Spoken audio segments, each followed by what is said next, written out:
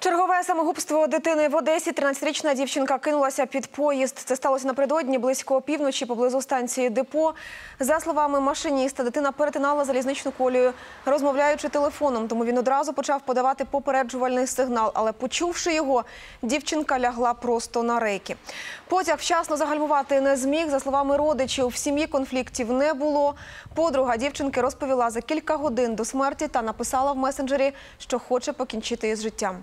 За статистикою МВС, лише на Київщині з початку лютого щонайменше п'ятеро дітей наклали на себе руки. Слідчі припускають, переважно це справа рук кураторів із суїцидальних груп у соцмережах на кшталт синього кита.